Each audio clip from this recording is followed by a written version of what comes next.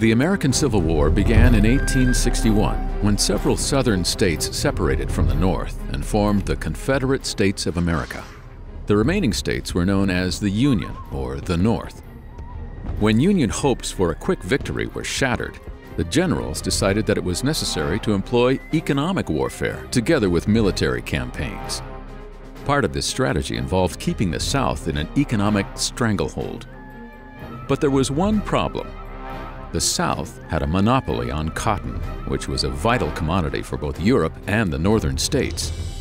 The blockade on the South created high demand and short supply, which paved the way for traders and smugglers to profiteer.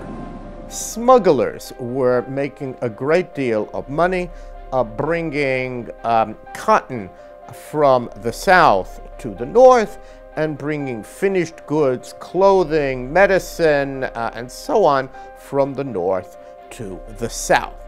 At the time, General Ulysses S. Grant was the commander of the Union force in the states of Kentucky, Tennessee, and Mississippi, where cotton was grown.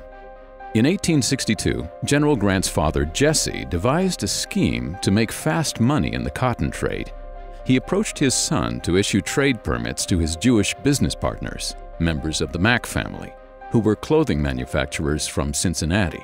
The Macks were in the clothing business and needed the cotton, but of course, you could buy the cotton very cheaply in the South, make a huge fortune selling it uh, in the North. And suddenly, uh, Grant realizes his own father is engaged in smuggling and with a Jewish firm. And uh, Grant um, sends the Macks away.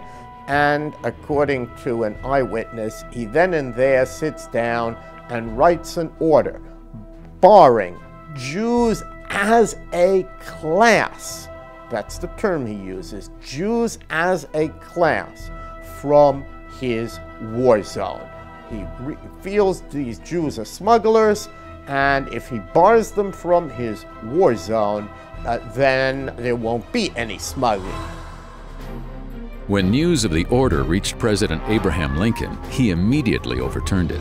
However, the entire episode was a severe shock to the Jews, who thought that such an incident could never happen in America.